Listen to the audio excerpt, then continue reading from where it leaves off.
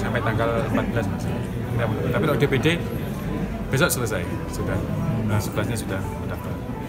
Nah, untuk eh, antisipasi karena besok itu ada enam partai politik, maka kita empat tim kita siagakan full. Jadi empat tim.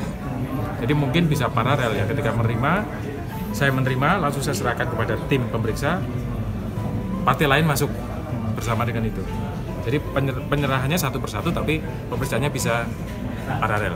Empat tim bekerja semua. Empat tim itu satu timnya berapa orang? Satu tim delapan orang. Ya.